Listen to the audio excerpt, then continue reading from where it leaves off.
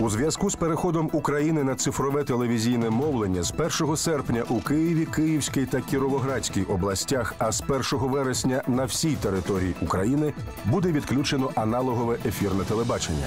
Сигнал українських телеканалів більше не буде доступний тим глядачам, які користуються аналоговими ефірними антенами без тюнера.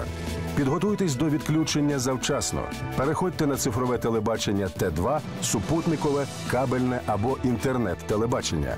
Дивіться українські телеканали у сучасній якості.